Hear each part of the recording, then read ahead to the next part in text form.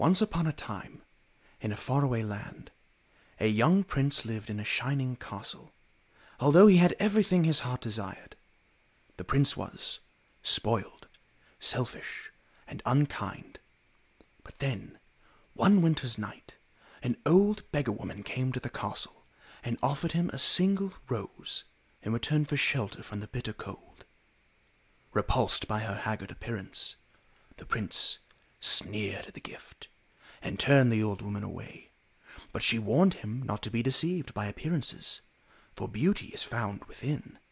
And when he dismissed her again, the old woman's ugliness melted away to reveal a beautiful enchantress. The prince tried to apologize, but it was too late, for she had seen that there was no love in his heart. And as punishment, she transformed him into a hideous beast and placed a powerful spell on the castle and all who lived there. Ashamed of his monstrous form, the beast concealed himself inside his castle. With the magic mirror, that was his only window to the outside world. The rose she had offered was truly an enchanted rose, which would bloom until his twenty first year.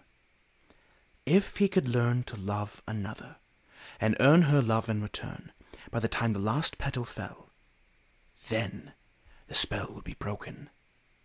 If not, he would be doomed to remain a beast for all time.